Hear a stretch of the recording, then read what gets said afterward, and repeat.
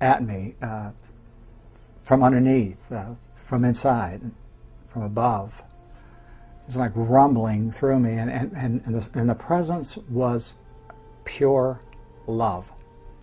And it's hard to explain in words exactly how intense, how unimaginably strong this love was. But it literally seized control uh, over my body.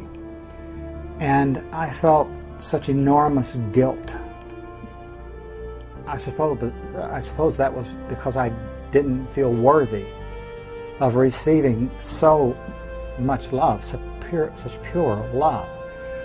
This power of love was just building and, and it was getting so strong. I was, uh, I felt the urge to cry. So I used the only words I'd ever heard my mom use, which is, God, please help me.